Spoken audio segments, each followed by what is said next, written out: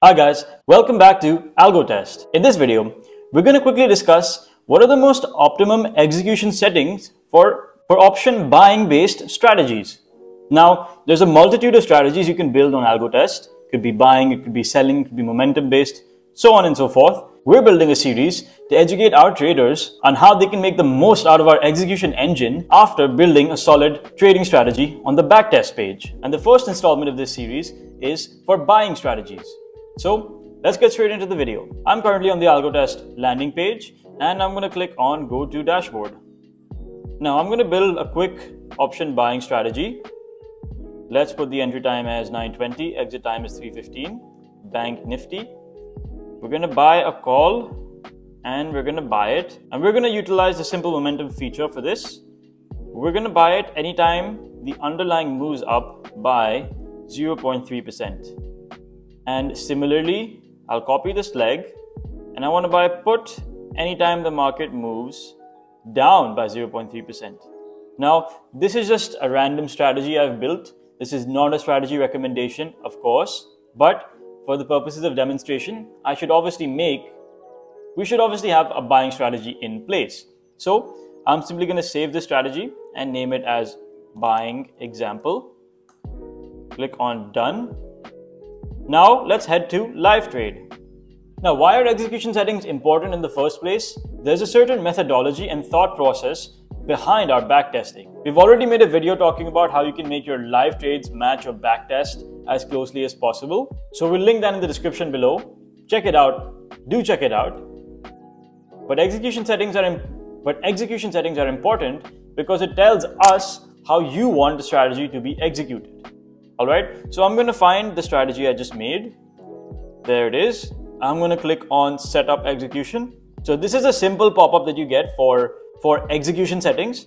However, I'm going to click down here on advanced settings and a bigger pop-up opens.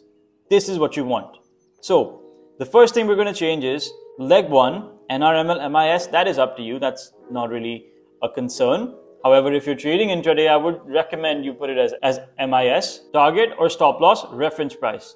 Now, I'm not going to talk about what each of these points mean because we've made a video talking about each of these in detail and we'll also link that in the description. However, if you need a quick recap, you can quickly hover over this I over here and it explains the actual feature for you. So for this target, so for target or stop loss reference price, I'm going to click on trigger. All right. You can add delay entry if you'd like. That's up to you. The next column says entry order type. We're to put it as limits. So we want to place limit orders. And I'm to leave the other settings unchanged because that is as per your preference. But it's important to put limit orders here just to minimize slippage and stuff like that. Finally, we have the third column where we also want it to be limit orders and not market orders. And we leave the other settings unchanged because that is totally up to you.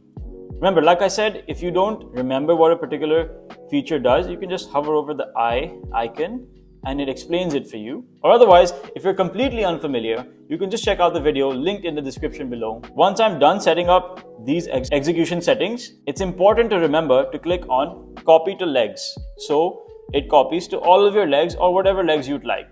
In this case, I'm just going to select both legs and I'm going to click on apply to selected legs. Now these same changes have been made to all legs in your strategy. One important thing we didn't touch upon was trade monitoring on LTP or on candle close. You want to select candle close and the differences between these two are again explained in a separate video which we will of course link in the description. Now once I'm done with this, I'm going to click on setup execution settings and when I'm ready to deploy my strategy when it's trading hours, currently it isn't, I'm going to click on activate and my strategy will trade on its own as per the parameters set. So thanks for watching this quick video guys.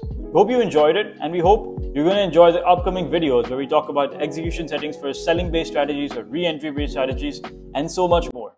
If you have a suggestion, please let us know in the comments below. Don't forget to like, share and subscribe. See you in the next one.